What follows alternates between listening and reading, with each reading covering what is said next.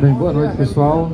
É, eu estou aqui, na verdade, fazendo essa abertura por conta de uma experiência que tive, por conta de viagens que pude fazer, tive a chance de conhecer a Palestina em 2019 junto com um grupo de ativistas políticos, de outros jornalistas, e, enfim, pessoas de várias áreas.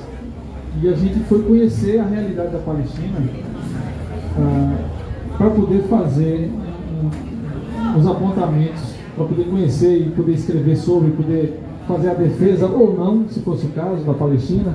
Mas estivemos lá por 10 dias, eh, hospedados no campo de refugiado. Então não foi em qualquer lugar, não foi em Israel, foi em Belém, no campo de Aida, que inclusive nos últimos dias tem sido notícia porque está sendo destruído, apesar de não ser em Gaza.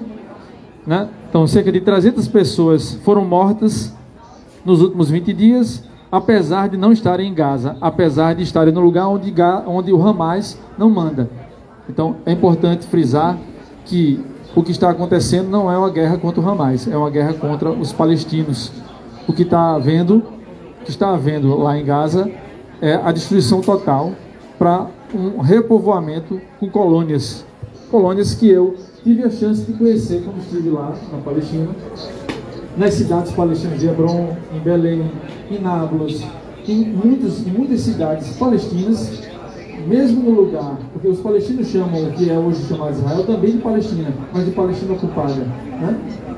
É, é, mas eu estou falando da Cisjordânia. Mesmo na Cisjordânia, está cheio de bairros ou de condomínios que são proibidos aos palestinos viverem lá. Né? Enfim, eu, eu, eu fui chamado, fui convidado a vir falar aqui é, na falta de achar um palestino que falasse. Vou fazer uma rápida contextualização, mas nós já temos aqui uma que tem familiares palestinos, acho que já nasceu brasileira, não é isso? Mas com familiares palestinos e que o testemunho dela acho que vai ser muito mais rico do que o que eu posso relatar. Vou fazer apenas um apanhado, porque acho que tem três falácias que são importantes de falar a respeito, né, de desmistificar, para começar essa conversa. Né? Porque é, a gente, por exemplo, no Brasil, tem muita gente que defende Israel que não faz a menor ideia do que acontece em Israel. A menor ideia. Primeiro que faz a confusão de Israel, a, a, o Estado de Israel, com Israel bíblica. Não há nada, nenhuma referência a isso. Não é um contexto, não é uma questão religiosa, de maneira alguma. Né? Então, pra, só para ter uma ideia, os, os, os, sionistas, quando ocuparam, ou quando ganharam de presente da autoridade britânica em 1947, né? 48 virou o Estado, né? mas em 47, e um pouco antes disso, em 39, os judeus da Europa já fugiam para lá por conta da Segunda Guerra Mundial. Né? Então, eles iam com o slogan de que era uma terra sem povo para um povo sem terra. Então, eles chegaram lá e ocupavam a Palestina, mas a Palestina estava ocupada. Estava ocupada por judeus, por muçulmanos, por cristãos, havia um monte de gente vivendo lá. Né? Eles gostavam de mirar para o deserto e dizer: olha, no deserto não tem ninguém. Está vendo? Está vazio. O deserto continua, inclusive, do mesmo jeito que naquela época, porque os israelenses não quiseram ficar no deserto. Mas os beduínos, povos palestinos nômades, vivem lá. E hoje são proibidos de fazer construção ou de se movimentar livremente pelo deserto. Porque eles evoluíram, mas eles não podem evoluir nas construções, por exemplo, porque Israel proíbe eles. Né? E o deserto, no fim das contas, é mais uma fonte natural que é negado o direito dos palestinos usarem assim como as fontes de água, a fonte de gás natural, tudo isso fica mesmo na Cisjordânia. Quando eu falo Cisjordânia, eu quero diferenciar bem, porque em 1948 houve uma divisão da Palestina, né? e uma parte dela passou a se chamar Israel. A outra parte chama-se Cisjordânia, que continuou, em tese, sob domínio palestino. O que não acontece de fato porque a autoridade palestina não manda lá na Cisjordânia. Né? Não tem poder, não tem autoridade sequer para ir de uma cidade para outra. Se o presidente, vou chamar de presidente, o Abbas, se ele quiser ir de Belém para Jerusalém, precisa pedir autorização a Israel. Israel nega. Então, não há autonomia. E essa é uma das lutas do povo palestino. Então, uma terra sem povo para um povo eh, sem terra não existe. Isso não existe. Uma coisa que eu vi acontecer lá e que é uma forma de, Israel é, tentar burlar a, a existência dos palestinos lá há milhares de anos são as plantações de, de oliveiras, as plantações de azeitona. A, as oliveiras, elas vivem milhares de anos. Então, tem árvores de mil anos, dois mil anos, três mil anos. Eu vi uma árvore de três mil anos lá. E ela tinha sido transplantada para um condomínio judaico. Não, um condomínio israelense. Porque é a forma que eles têm de dizer, aqui não tem nada. Veja, como é que vocês moravam aqui há dois mil anos se não tem nada nesse lugar? Existe uma plantação de oliveiras. As oliveiras milenares, eles derrubavam as oliveiras, eles derrubam as oliveiras. E algumas eles captam para si, para dizer, olha aqui, no meu jardim tem uma oliveira de 3 mil anos. Uma oliveira transplantada. Né? Outra, outra falácia, é, que a gente, e agora a gente está ouvindo bastante, né? porque a construção de todos os muros de Israel sempre foi seguindo o princípio de que eles precisam se defender, eles precisam se defender dos árabes. Né? Inclusive não chamam nem de palestinos, chamam dos árabes. Que é uma forma da propaganda desumanizar. Né? Eles colocam ah, os palestinos como sendo um povo diferente do que somos. Né? Aqui no Brasil, aqui no Brasil é engraçado. Eu vou fazer um parêntese, porque, enfim, comunicólogo, estudo comunicação, então é, aqui no Brasil, a gente, como consome muito enlatado europeu e principalmente estadunidense, a gente acha que para o resto do mundo a gente é ocidental. A gente não é ocidental para o resto do mundo. Os Estados Unidos tratam a gente como orientais, mesmo a gente estando do lado ocidental do planeta. Né? Nós somos orientais porque, no princípio, no princípio orientalista, de que Eduardo Said, o, o, o estudioso fala, o orientalismo vê o Oriente como sendo algo exótico, selvagem, diferente. Então, eles, o, o, o, que é oriental é o outro, não somos nós. Né? Enfim, Israel tem direito de se defender, é o motivo dos muros que ele constrói. Mas, como os números mostram aqui, a defesa de Israel ela é tal demais para os palestinos. Né? O número de mortos é, enfim, o número que eu achei aqui é de 2008 a 2020, né? quase 5.600 mortos para 251 mortos de Israel. 5.590 mortos palestinos no mesmo período em que 500, 251 israelenses morreram. Coincidência ou não, 5 mil e tantos era o o número de mortos de palestinos até sexta-feira. A gente já chega em 8 mil mortos desde o dia 7. A gente chegou num patamar que a gente tem quase 4 mil crianças, crianças mortas. Então, a gente pega esse número de 8 mil e não são soldados. Não são soldados. Não são, não são sequer filiados a Hamas são pessoas, são idosos, são crianças, são civis. A gente está vendo aí a, a, forma que Israel diz que está tentando recuperar os, os 200 reféns que o Hamas fez, é demolir os prédios com os reféns dentro. Então, não faz nenhum sentido. Nenhum sentido. Agora, faz sentido se a gente pensa que Gaza ainda é uma reserva palestina com acesso ao mar, com gás natural, e que Israel deseja. Então faz todo sentido que Israel queira destruir Gaza para reconstruir ela em forma de colônia sionista. Né? Eu, eu, eu quero, enfim, eu, eu falei aqui mais de uma vez, colônia judia, é, o povo judeu, mas não é essa a questão. Os vídeos que a gente viu um pouco antes de começar aqui mostram que os judeus pelo mundo eles criaram até um movimento que chama Não em Meu Nome. Eles não querem ser atrelados a isso. Não é uma questão religiosa. Não é judaísmo contra muçulmano, muçulmano contra. Não é. Eles viviam, muçulmanos, judeus e cristãos, e, e Jerusalém está ali para provar.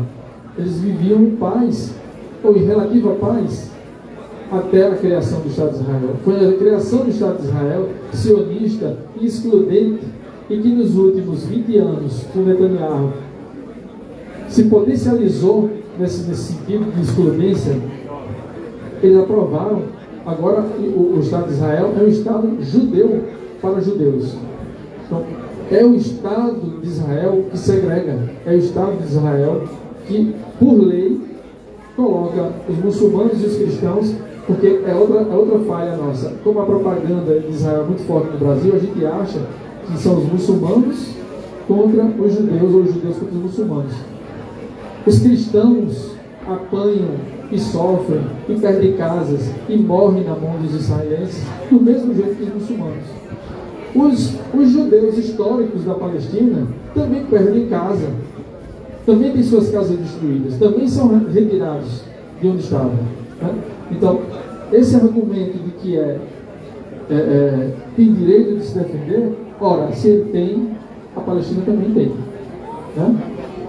E nesse caso, infelizmente, a defesa da Palestina, por conta do acordo de Oslo, a Palestina e a autoridade palestina cumpriram todas as regras impostas pelo acordo de Oslo, inclusive o desarmamento da população.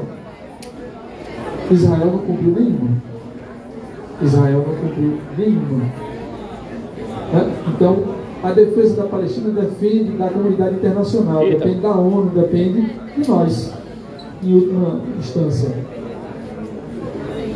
É, uma terceira falácia, e eu já estou passando rapidamente por essas falácias porque eu quero apresentar a vocês a Fátima e quero dar, dar a oportunidade dela falar sobre a experiência dela na Jordânia, sobre a experiência dela com a família dela, porque acho que isso vai ser mais enriquecedor do que os dados que eu tenho para trazer e que eu posso trazer em outro momento, se for o caso.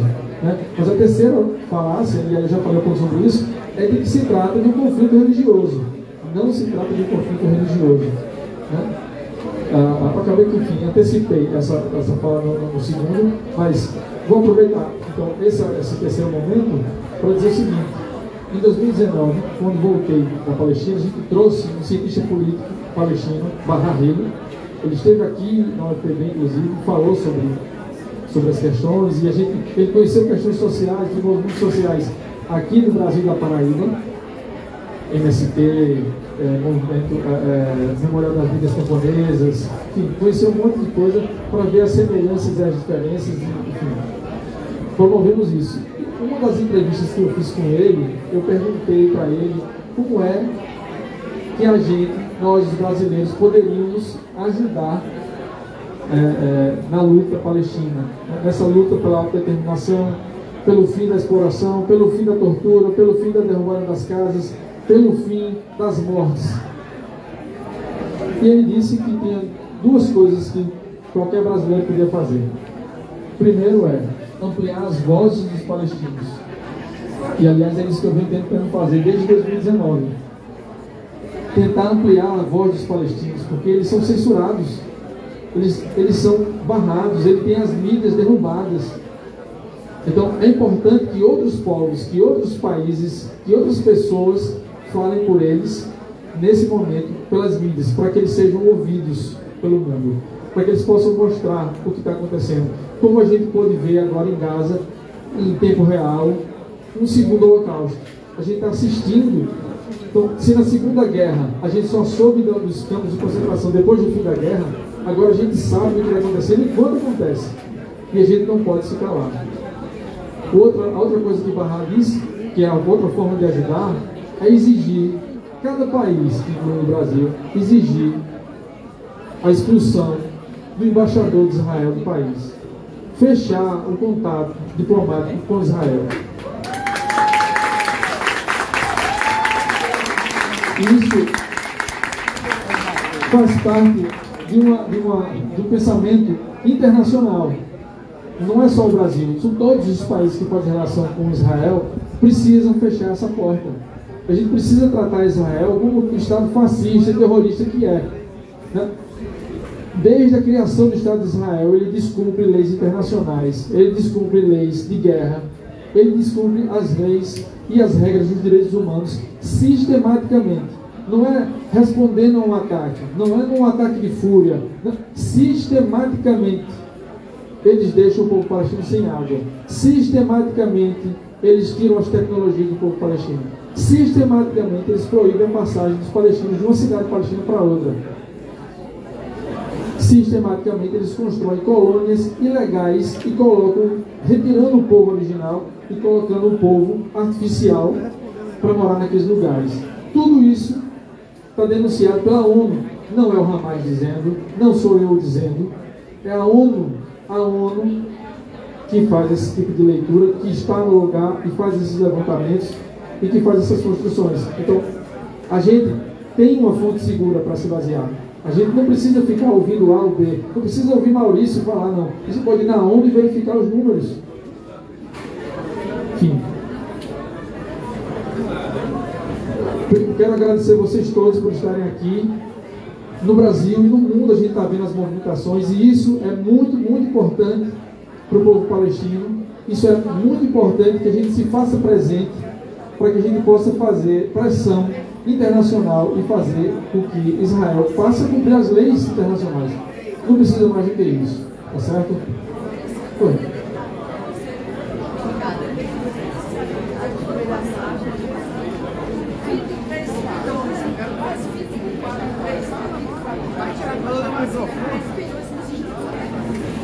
Sim, os Estados Unidos, na verdade, são os grandes financiadores daquele Estado junto com a União Europeia. Né? Mas eu, eu, queria, eu queria encerrar minha fala, trazer Fátima para fazer o depoimento dela.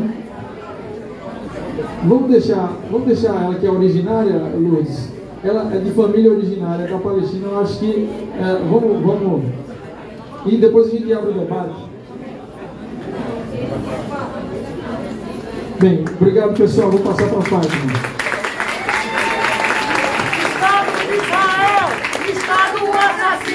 E viva a luta do povo palestino, Estado de Israel, Estado assassino, e viva a luta do povo palestino, Estado de Israel, Estado assassino, e viva a luta do povo palestino.